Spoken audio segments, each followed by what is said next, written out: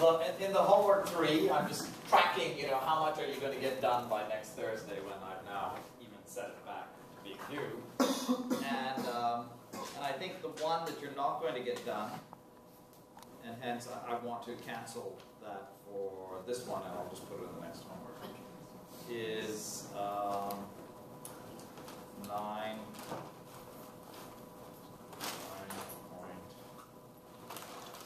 nine point, nine point two E. Okay. So, don't do nine point two E. Um, and even there,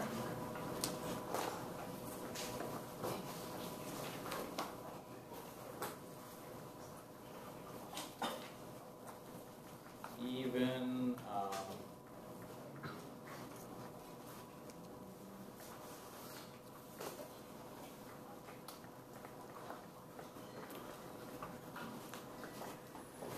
in nine point one,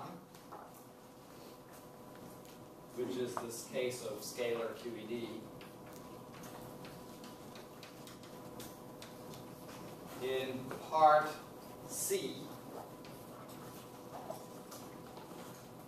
at the moment you wouldn't know what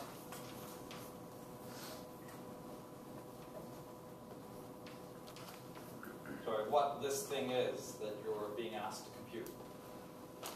Okay? And uh, however, it's just another type of self-energy, it's just a self-energy for the photon. So I think you can do it. And it is defined in um,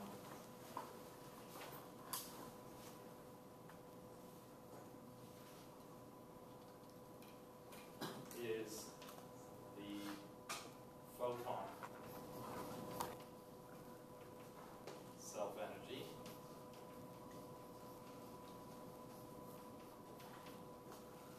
Usually called. So we would talk about it later, but uh, it's significant. But basically, it's another self-energy type of problem, usually called vacuum polarization.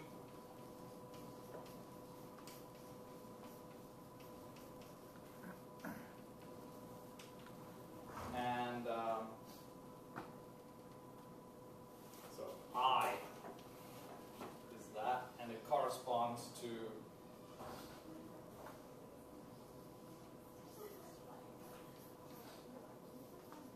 corresponds to this one particle irreducible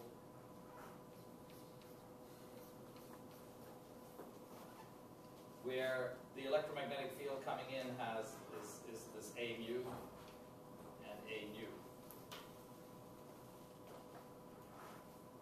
Okay, so one particle irreducible diagrams get multiplied by the fields. If the fields happen to have indices on them, then the one particle irreducible guy has indices on them. And that's what this is. And you can see the, the, the, the usual QED case um, is in equation 7.71 and is ultimately evaluated so that you can, again, I don't want you to do the standard QED one, but you're asked to make a sort of numerical comparison. And so just do the case you're supposed to do, but um, it's evaluated.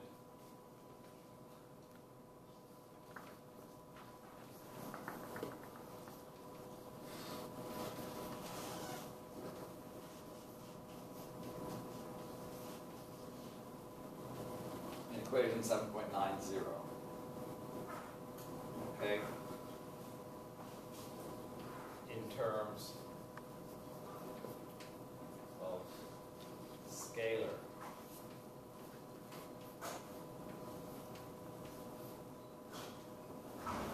So basically that um,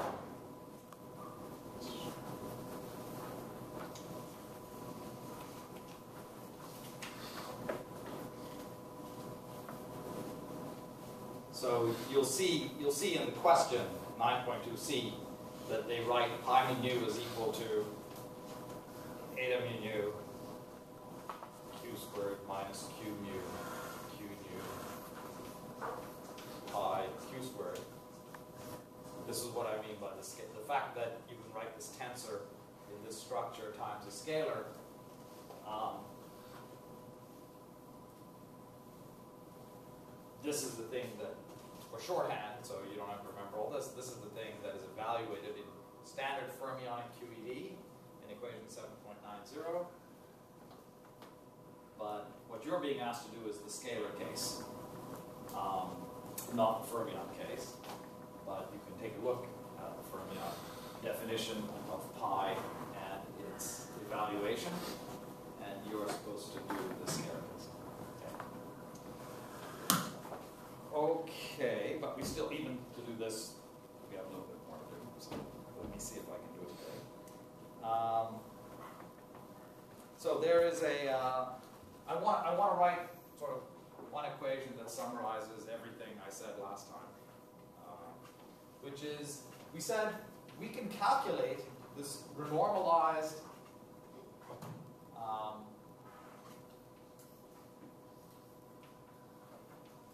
we can calculate this.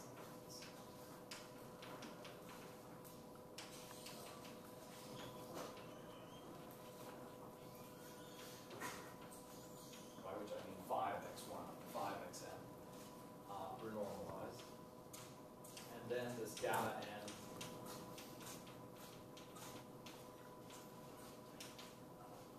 and this these basically the Green's functions are functions of m renormalized and lambda renormalized. Okay? And they're made finite by subtracting the local UV divergences, loop order by order,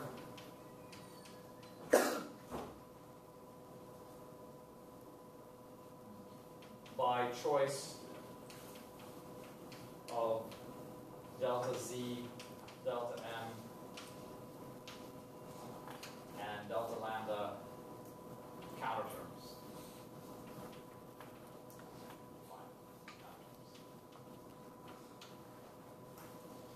So at every order in the loop expansion, I tweak these at that order.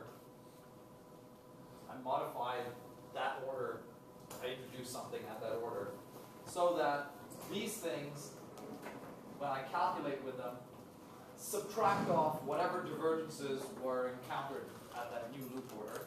And these things are, are functions of mr squared and lambda r.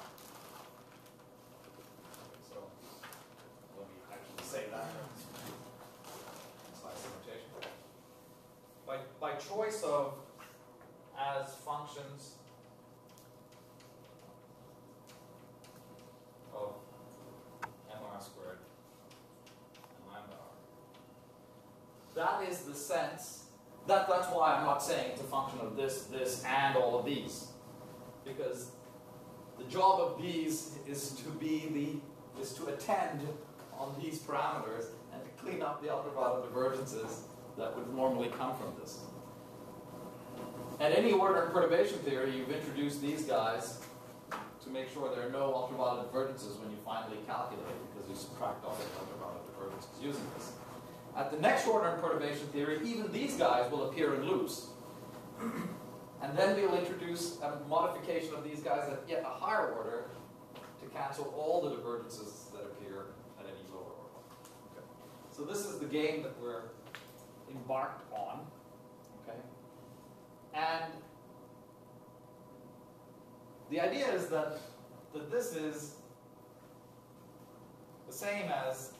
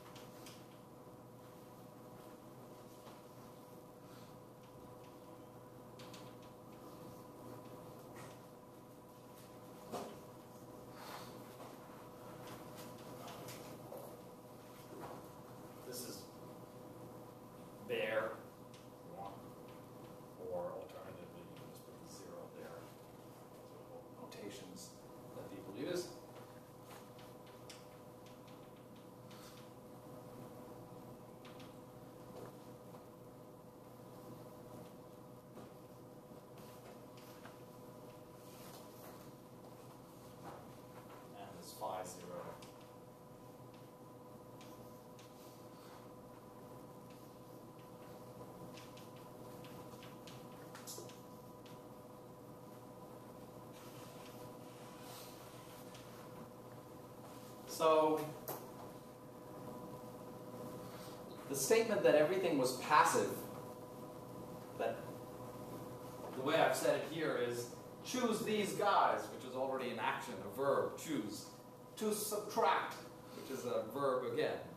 All of that is saying, however, look, no, actually, it's just it's just the bare guy with a cutoff, which is very large compared to any experimental energy, compared to any of the length scales in X that you intend to probe, this lambda is incredibly ultraviolet. And so this looks like the old, good old cutoff, but unrenormalized gamma. Nothing has been done. No verbs, it's just what you get from doing the, the, the path integral. And the statement that this is, so, so the statement that everything is passive is just that it's equal. It's equal to this guy. Okay? And and and the the and, and so the, the magic is that I told you that this m zero, this lambda zero, and this delta and the z given are given as I gave last lecture are given by mr squared lambda r and uh, of course the delta z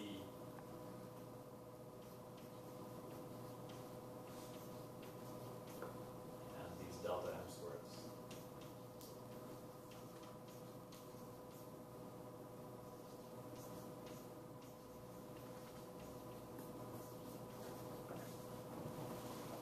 Okay. So the statement of passive or active view of this is that if I think of if I think of m zero and lambda zero as my uh, and, and phi zero as my independent variables, I get a completely ultraviolet dependent mess which has to have a cutoff to even write it down. But if in instead I switch to thinking of mr squared and lambda r as my independent variables, okay, where these guys depend on these guys, exactly as in the formulas I gave you, right? They depend on these guys and the counter terms, but the counter terms themselves are chosen to keep subtracting off ultraviolet divergences. Then you end up with something finite in terms of these as the independent parameters. So where did the ultraviolet divergence go, we ask? Where did it disappear? And the answer is given by inverting. If you want, you say, look, I desperately want to see where my ultraviolet divergences went in this, in this way of writing things. Because I know they're there. I know you're cheating. Okay, so we can, we can do that.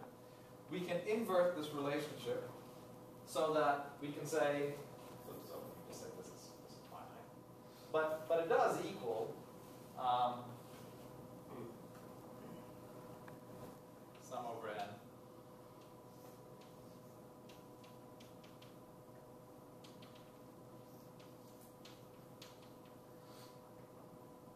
and now five,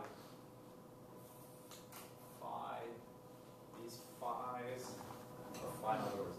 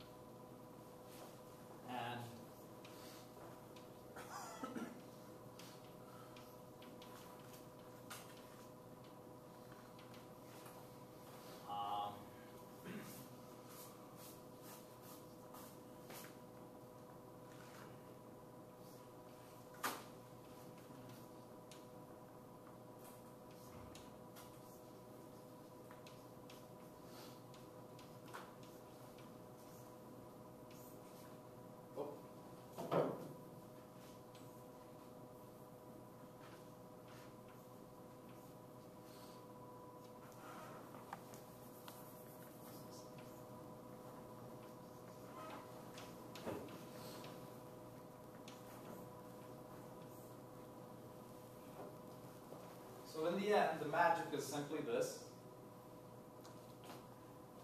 First of all, this wave function normalization place for holding orbit, which these where, where and, and these z's are.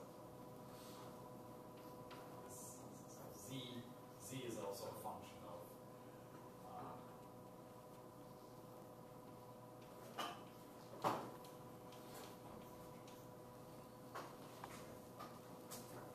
well, it's a finite function of mr squared and lambda r. But if I if if I choose if I choose these as the independent variables,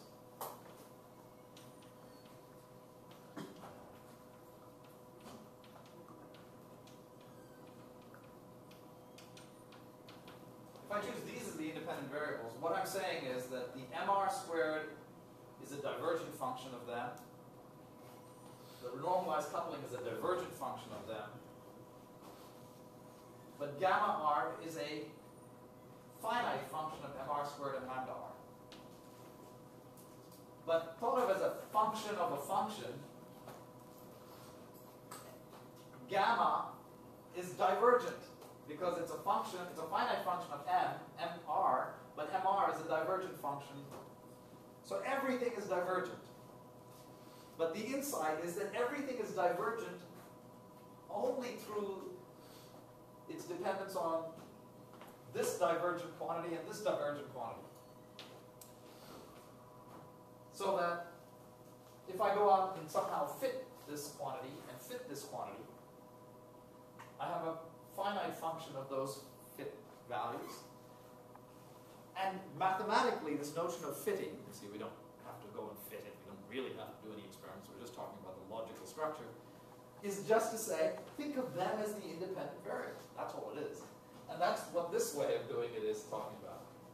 It's saying, please choose, choose mr and lambda r as the independent variable. Choose these bare, these bare quantities, hmm. implicitly defined by these counter terms, so that everything is finite. And then you are going to get finite quantities. You're going to get finite gamma by choosing the counter terms in that way. Okay. But what I'd like you to sort of go through in your head is, is this statement here. I think this is the one which tells you what is the passive and brilliant insight of renormalization. That everything is divergent. Everything in sight is in some sense divergent in terms of the original things that you think of as your independent parameters. Yes, it's as bad as you think but it is only dependent on all of these three quantities through these two quantities in a finite sort of dependence. Okay, so that's that's it. Now, I sloughed over, I have not sloughed over in what I wrote, but I sloughed over the words I uttered, the wave function aspect of this game and making it finite. Which is in some sense easier, because the divergences hidden that are being subtracted by this delta z. This is sort of completely you know, the functions involved here could be very convoluted. This is just an overall multiplication by some z to some power. So it's in some sense a much easier thing. And what it says is if you work in terms of this finite this renormalized field, rather than this field, then you absorb all the divergences basically by taking advantage of this delta z. And you know, when you're talking about the S matrix, the ultimate field renormalization, it doesn't matter whether you use this or this. Remember that the normalization of the field should be thought of as related to the normalization of the source, J. Okay? We've seen this once before when we were talking about self-energies and wave function normalization. If if I have a source which has some infinite amplitude to produce to, to produce this field, I can just rescale the strength of the source so it has a finite amplitude to produce this field. So there's a vaguely there's vaguely looks like there are three quantities that you would normally talk about, the wave function and these parameters. The reason that the wave function ultimately is not thought of as an input parameter, you don't have to tell me what it is, is because when you calculate the S matrix, nothing depends on the strength of the source. Okay? The whole point of the S matrix is please cut out all the things that depend on the efficiency of my detection or, produ or, or production mechanisms. So that only the intrinsic scattering amplitude gets included, and that's independent of the overall normalization of these, um, these plots. But uh, talk it out to yourselves what's on the board here. You can talk, you can focus on any little bit of it. Oh, what's going on with these Z's, or what's going on with this, but, but this, this is it. There are two missing pieces in this whole story so far. Okay, there are two gaps that are glaring. So let me talk about the easier one first, and then we'll talk about the hard one.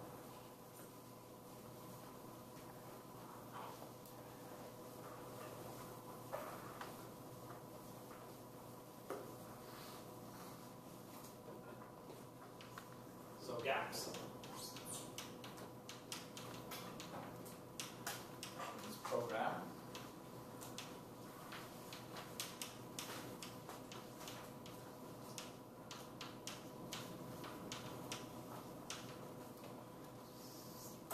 Even in terms of what to do. Um, I said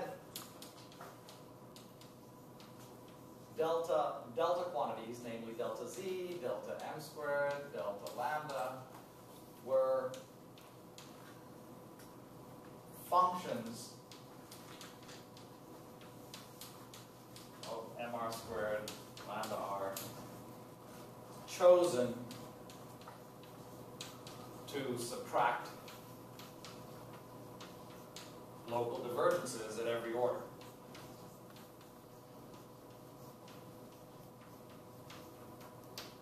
Now, if that was a unique characterization of these, then they would be a function. If I said, given these parameters as inputs, that at every order in perturbation theory, you get some local divergence. And these are chosen to subtract that local divergence. And there's only one way to subtract the divergence. Then these would be functions of this at every order in perturbation theory. And I could really say these are functions of this.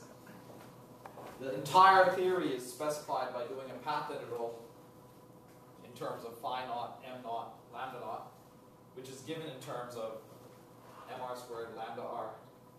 And these three quantities, as I showed you last lecture, defined.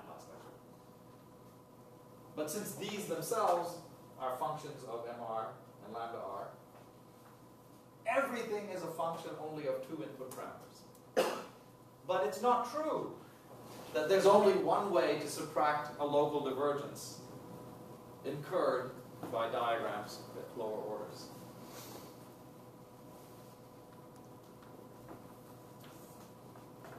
But there is an ambiguity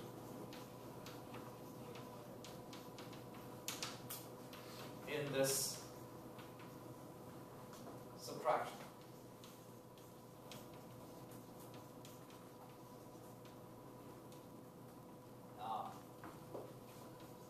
If delta z, delta lambda, and delta m squared s- s- subtract local divergences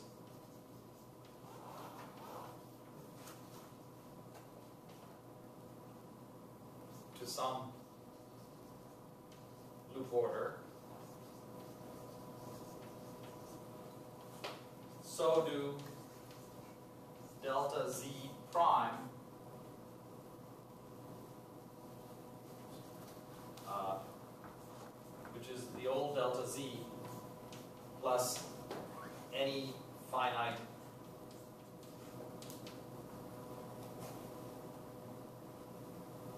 function of mr squared and lambda r. And similarly delta lambda prime.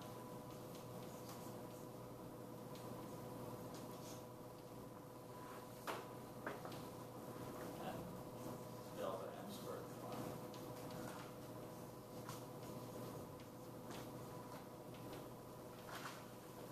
In other words, you're within your rights. If you already have a successful way of doing a subtraction of all ultraviolet divergences to some order, you can always keep the same counter terms, but with a finite local set of counter terms added to it. Yeah. Is that the same counter term for each of the three, or No. So so let me say, let me say finite one, finite two, and finite three. Okay. As you can see, by subtracting a by subtracting something finite and local, it's still something that sits in a local counter term. And it still accomplishes the task of keeping things finite. So there is an ambiguity. We, we hit this before. It's come up in some of the questions. Even in the self-energy case. The decision, how much should you subtract? We know we have to subtract the ultraviolet divergences. But exactly how much finite stuff should you subtract? In some sense, you'd like to say, just, why don't we have a simple rule? Don't, don't subtract any finite stuff. But sometimes the separation of finite and infinite is hairier than that. For example, you can sometimes have a Green's function that has some energy over the cutoff. You say, okay, let's just subtract the cutoff dependent part. So I want to subtract, so I want to add, so for example, if a gamma contains this, then we might think to take an S counter term, question mark, which is, which contains log lambda, so that we can knock off, so we can knock off that lambda and leave the log e. The log e is finite, the log lambda is divergent. Let's get rid of that. However, this is not dimensionally correct. You can't just take log of a dimensional quantity you have to make some decision. But so this is not dimensionally correct. So we must choose S counter term contains minus log lambda divided by we usually call this something like mu, but basically some finite scale. Okay, to make even mathematical sense. That means that we have to have somewhere there. You choose some. You choose this mu to be one GeV. I choose it to be two GeV. We have to include some finite piece. Okay. So we're stuck with this ambiguity. And, and, and therefore we don't actually have, so these things, at the moment, we do not say that these things stipulate a function of these. So this happy little story so far has not yet come to pass. But, but what, why don't we just invent a random rule? An arbitrary rule which tells you how to pick the finite pieces. Okay. So any unambiguous rule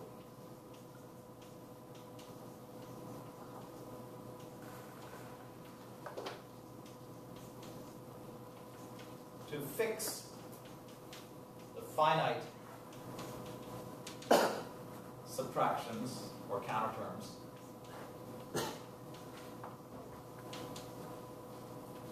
as functions of the renormalized parameters. And I think we said something like that. I don't want to, I don't mind it.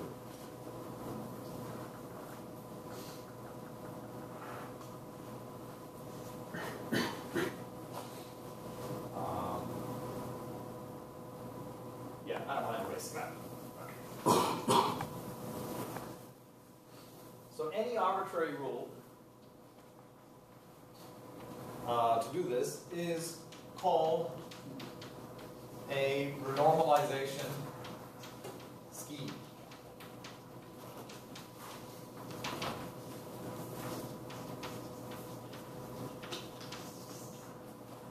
First of all, it works. That is, if you have some unambiguous rule, randomly chosen, which manages to stipulate some way of saying what the finite subtractions should be as a function of these guys,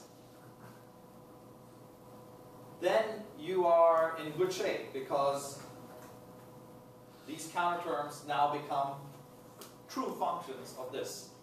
So a renormalization scheme is a way of breaking this degeneracy in the choice of counterterms.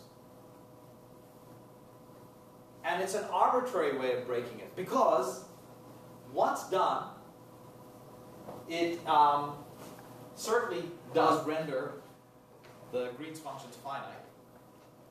And furthermore, you might say, but I feel like I'm doing something, I'm doing something random by choosing a renormalization scheme, and somebody else might choose a different renormalization scheme. But remember, all you're really doing is passively observing that the original bare action, while riddled with ultraviolet divergences, is secretly only dependent, is only strongly dependent on the ultraviolet scale, ultraviolet cutoff, through a finite sort of, or through two, two dependencies on this. Any way you make that observation is, is good enough, okay? Because it tells you how many measurements to do to fix these highly sensitive quantities and then get on with calculating everything else. But in the end, all you're doing is calculating that bare effective action. We're calculating the bare effective action and noting that it has two sensitive, it has two directions in which it's sensitive to the ultraviolet, and then everything else in every other way is insensitive. So any renormalization scheme or choice of breaking this ambiguity, so long as it does in fact subtract off the divergences, is, is okay. okay. So we'll talk about examples of such renormalization schemes in what's to come. But right now, th this was a logical flaw in what I said. But now, so with such a scheme, truly have delta z, delta m squared, delta lambda as functions of m squared and lambda.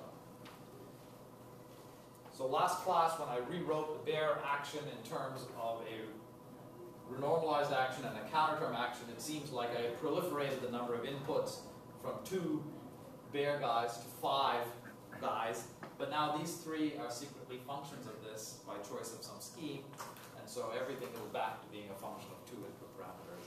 Life is good, and we can fit these two experiments because any experimental observable is a finite function of these two guys by the renormalization procedure. So that was uh, loophole number one. Uh, the second gap, okay, so this is one. That first gap is solved by choice of renormalization scheme. The second guess scheme was, um, I said, I, I, I said, and I proved to one loop that UV divergences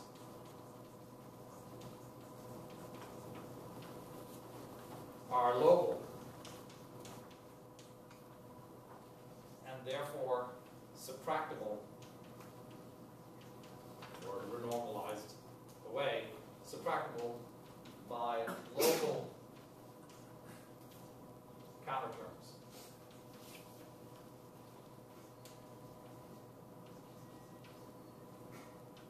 Such as delta z d mu phi. There's a local operator whose coefficient is delta z, or delta m squared phi squared a local operator multiplied by with a coefficient delta m squared or delta lambda phi to the fourth. Here is another local operator multiplied by. Okay. But the hanging question was, there are many other local operators. Why did I stop with just these three?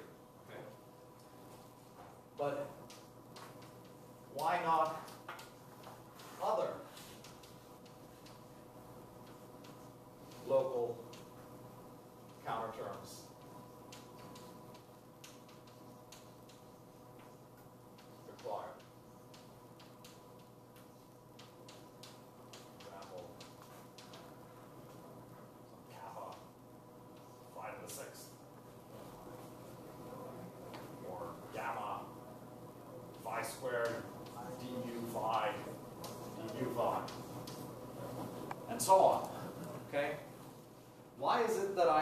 Get away with only these three types of, lo- being local is one thing, but these are local and there's only three of them.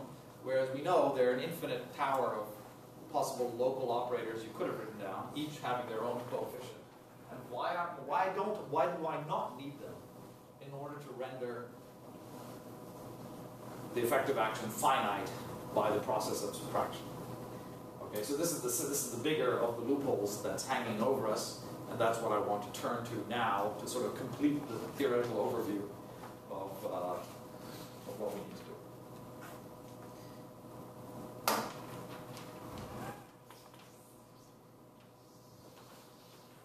So,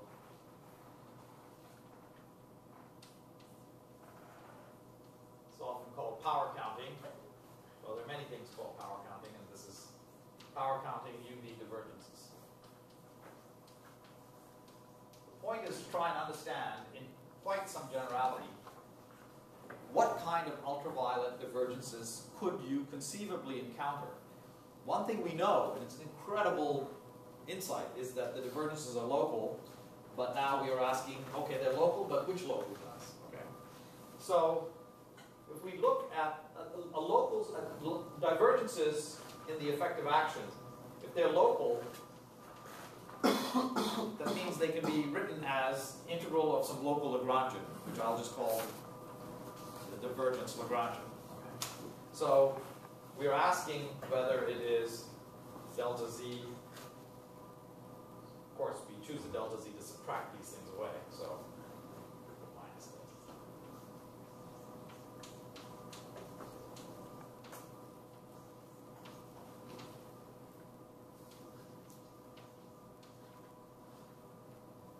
But, but we're asking about, we're asking about this, right? And um, so let's see who could be there. So, so could this L divergence, could it contain, well, what could it contain? What's the most general, again, you can easily, on the side, do the same thing if you had a theory with fermions and bosons and so on and so on. So we can clutter this up with many species, but let's just get the idea because it's more or less the same for everybody.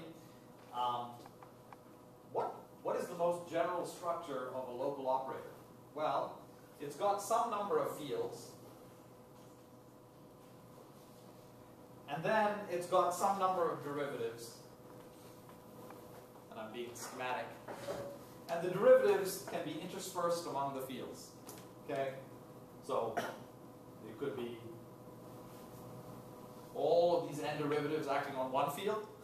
It could be each derivative here acting on a separate field, and so on. I mean, there, and, and this could be the mu index or the nu index. I mean, there are many possibilities. But just schematically, it looks like this. Okay? And, and this thing, since it's in an action, it's in, in an action that sits at the path, it has units, in, the action has units of action, which for h bar equals 1 guys is dimensionless. Integral d4x of this is dimensionless, which is to say that this has dimension 4. Like any Lagrangian density, it has a dimension 4. So we're doing dimensional analysis. And for dimensional analysis purposes, exactly which subscript I put on this derivative, or whether this derivative is acting on this on all of the fields separately, or all on the same field, or something in between, doesn't matter. It matters that there are n derivatives, and every derivative has dimension 1. Matters that there are k phi's, and every phi has dimension one. Okay, I'm doing dimensional analysis, that's why I'm being this slow. Okay? So, to just indicate that I am being sloppy at that level. But this is dimension four, I know that. And this is dimension n plus k. Somehow they have to match up. But I know that this is also some sort of ultraviolet divergence. Otherwise, I wouldn't be worrying about it. I wouldn't be putting it in here. There should be some sort of ultraviolet divergent coefficient here. So there has to be some power of our ultraviolet cutoff.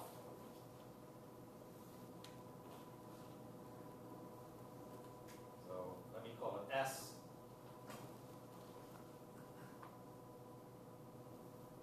Now you can see, if naively you'd say, well, it should be some positive power, something that's blowing up like that. But, but indeed, it could be something like log lambda, so I have to allow this possibility. But it's not negative. It would be, it doesn't make sense to say that the coefficient of an ultraviolet divergence goes like 1 over lambda. Then it wouldn't be divergent. We'd be insensitive. So, so it has to be something like this. And then if you ask, well, what else could possibly, what else could possibly sit in here that could make up the dimensions, that has any dimensionality? Well, masses. The masses of particles could, could show up in this formula. And so let me put some masses here.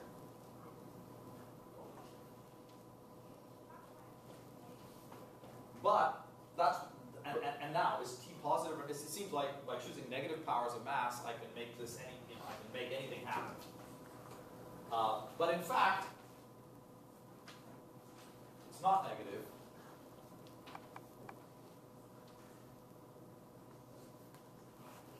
Saw polynomial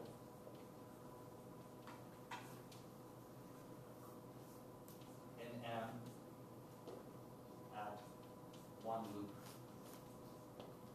And we, we saw that not, in fact, when I did the one loop proof, I pointed out to you that ultraviolet divergences are polynomial in momenta, which is to say local, when written in, in local in x space. But I also pointed out, at the time it didn't seem obvious where I was headed with that, that they were also polynomial in masses, if you go back and look. So, so this is t greater than to zero. So it's polynomial at one loop and, and in fact, all loops. Okay.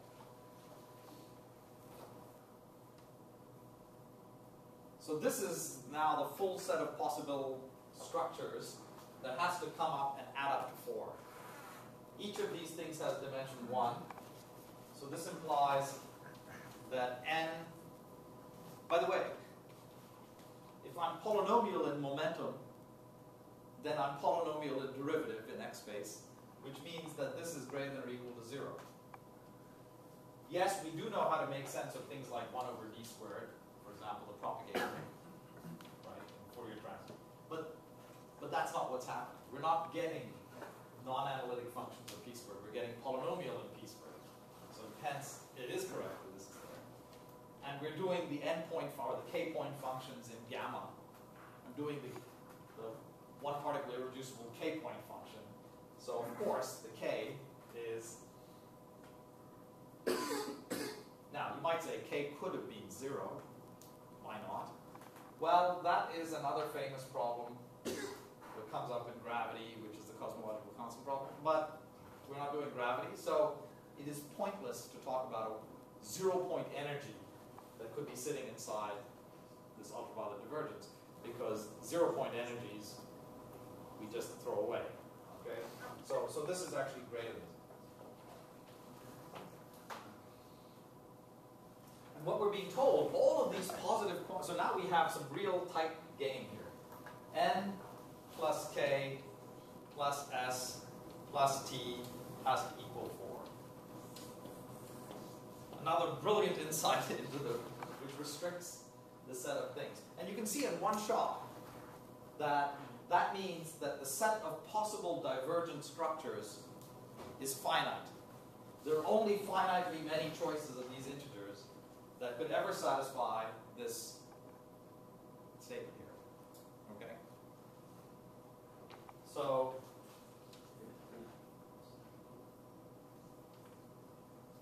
only a finite number of solutions.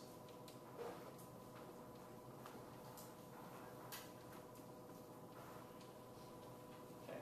So you might have thought that just being polynomial, just being local certainly stops us from having to think about the most arbitrary non-local functional, which is divergent.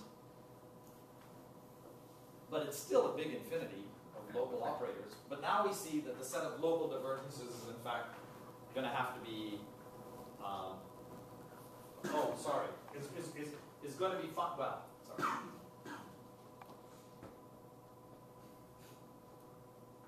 Can I backtrack? Just, just, just a little bit. I can sense the hatred. Sorry, there's one other thing that could be dimensional. There's, there's some, there's some order and perturbation theory we're working through.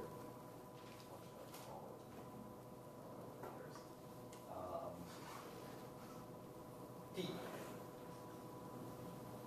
Okay. Now, what happens, we're doing lambda phi to the fourth field theory, then, then indeed what I said was true. But in total generality, so, so, so let me just do the general case here. And I mean general case. Some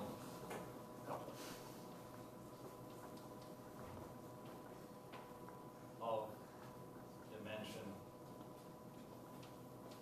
So the, the scale dimension of this coupling constant, lambda, is say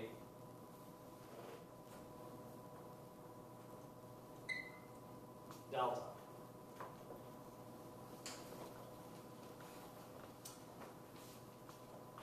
Now, this is the Pandora's box lid here, if you like, in the sense that a coupling constant could be dimensionless, like in lambda phi to the fourth theory.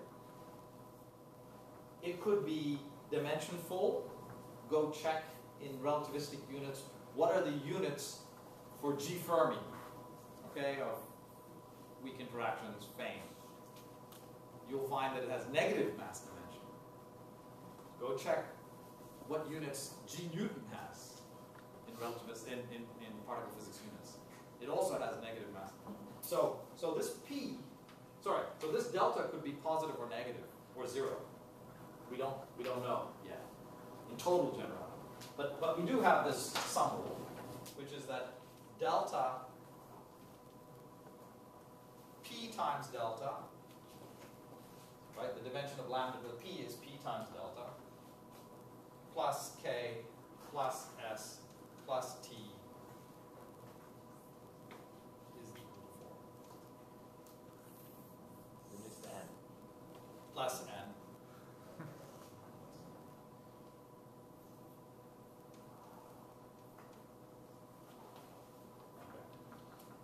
Now, we do see at a glance one thing that if you don't restrict yourself to these negative, negative scale dimension coupling constants, then you would only have a finite number of divergences. Uh, a curiosity, but surely a simplifying curiosity, that we don't have to think of an arbitrarily large number of counterterms. And we'll see, we'll see what exactly is the pros and cons of such a situation. Um, Are you also assuming a scalar field? I mean, a fermionic field yeah, so let me let me do. Um, you know what? Let, let, let, let's let's do it all in one shot. Okay, so let's say field field dimension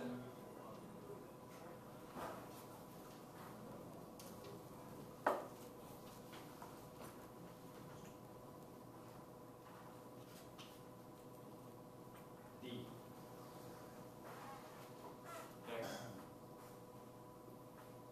Then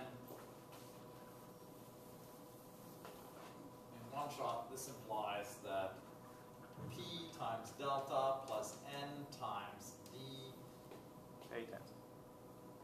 sorry, N, N plus K times D plus S plus T is equal to four. And this D, think of any field that you know, bosons or fermions, that's it, one of these two, um, is, is greater than zero.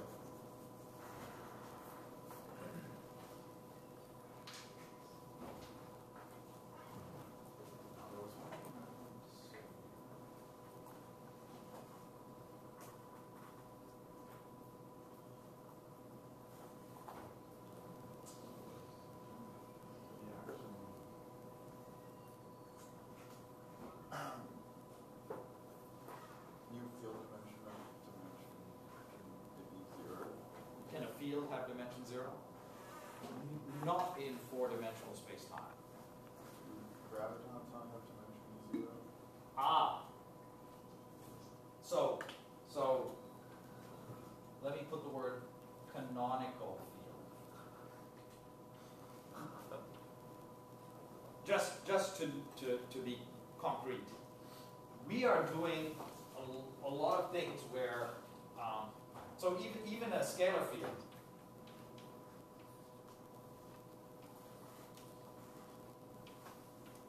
Um, we say just by dimensional analysis, is the action is dimensionless. This has to have dimension one. But um, if I have, so if I had a, so even here, let me consider a phi to the sixth interaction. Where this lambda, maybe I should call it something else, kappa, so this has dimension minus two by dimensional analysis. Now, I could define this to look like this, uh, and sometimes it's actually very useful, as I said, to isolate the coupling as being part of the H bar. Okay, so I could. Uh. So one over H bar kappa. How, how can I get the kappa to sit here by doing a field redefinition? Let's see. Um, okay.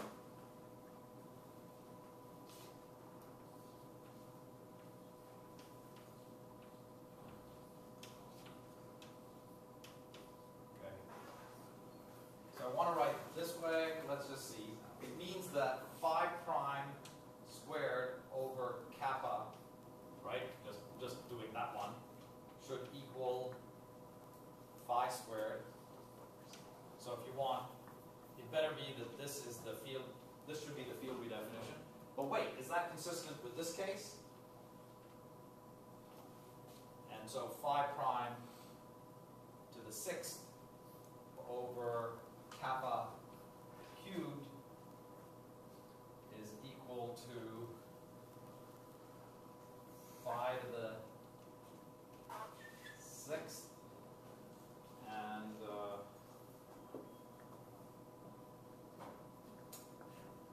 sorry, I shouldn't have done this example. I should have done this example. Phi squared.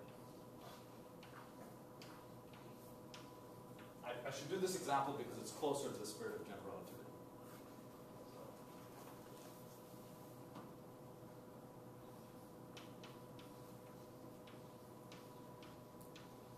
This is a kind of weird derivative interaction. So, so here, if this term is going to work out, then phi to the phi prime to the fourth, and this is kappa squared like this. This is phi to the fourth. So, so therefore, phi prime to the fourth, and then there's a kappa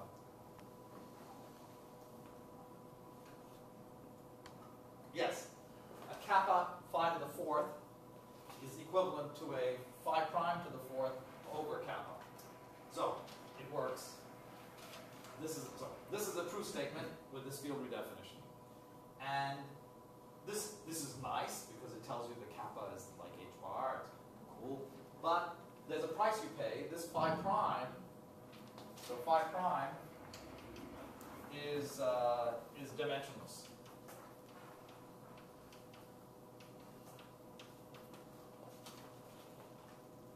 Okay.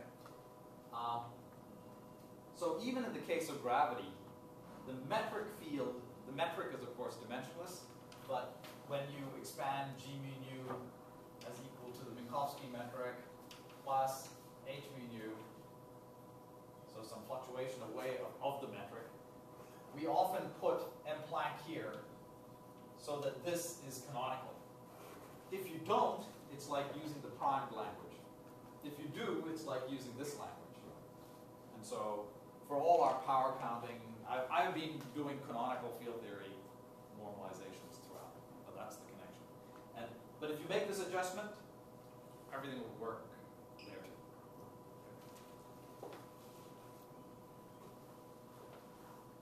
Secretly, when you use any of these other normalizations where you're using a coupling constant to make your field dimensionless, then secretly, in the same, it doesn't change the basic point, it just means that some powers of the coupling and some powers of the field are going together and you're calling it dimensionless.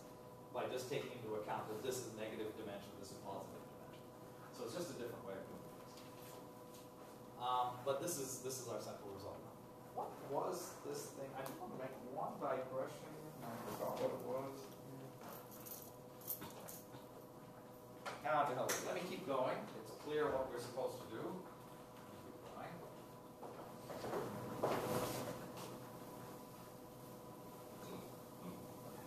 So why don't we clean up our phi to the fourth case?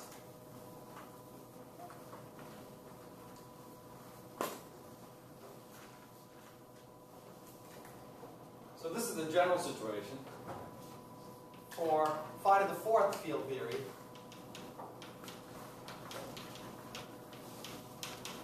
uh, this d is equal to one. The scale dimension of a field is of a scalar field is one, and the, the the scale dimension of the coupling constant is zero. And so we find that n plus k plus s plus t is equal to four.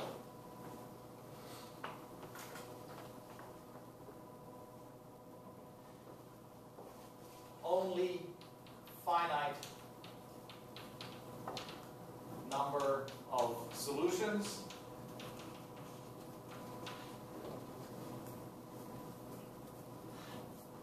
which means only a finite number of possible